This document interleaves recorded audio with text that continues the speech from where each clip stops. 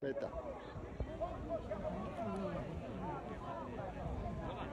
Siamo al Lago Patri, a Lago Patria, vicino a Giuliano, dove c'è la base NATO e abbiamo appena fatto il nostro presidio e sono qui con Eleonora.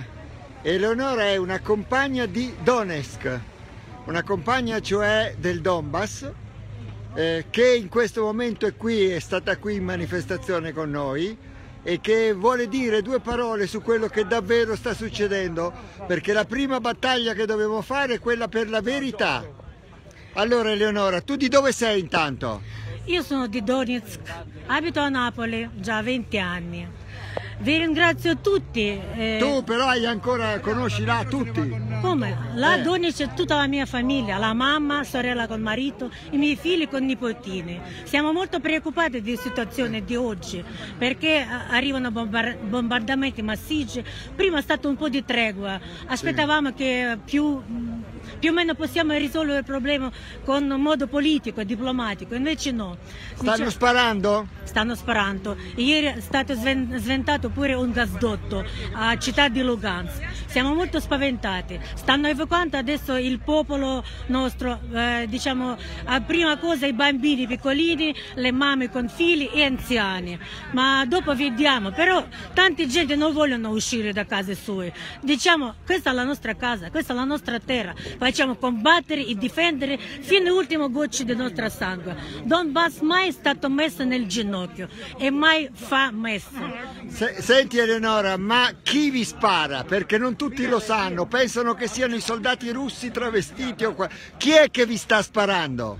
Purtroppo non c'è soldati russi nella nostra terra che magari difendono noi. Mm. C'è da otto anni che l'esercito ucraino eh, equipa, equipanato, no, come? Eh sì, sì, equiparato. Equiparato dall'Occidente, equipaggiato, dalle, equipaggiato dall'Occidente, dall'America, che sparano da otto anni, otto anni alle nostre terre. Prima arrivati addirittura pure l'aereo e elicotteri che sparavano pure il Tocca U, è un missile più grande che possiamo avere.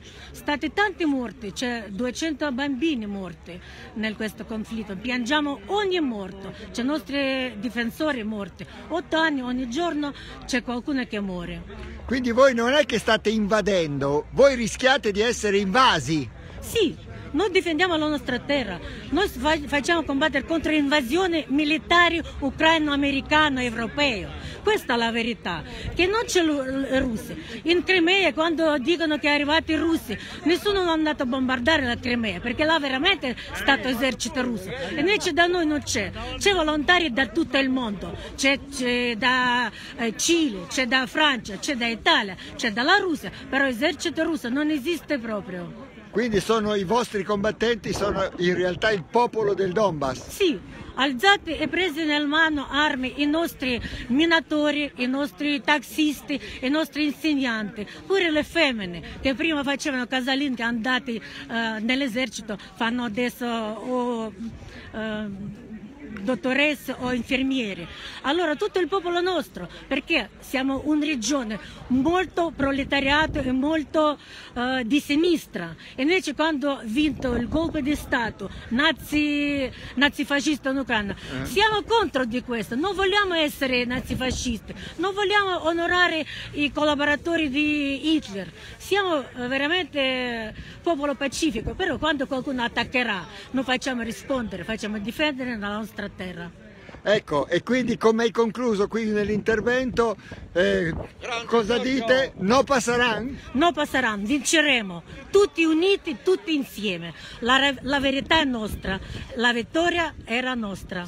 Grazie Eleonora, questa è una voce dal Donbass perché almeno noi diamo le voci dal Donbass, non le voci della Nato o dei nazisti che stanno combattendo per conto della Nato. Grazie.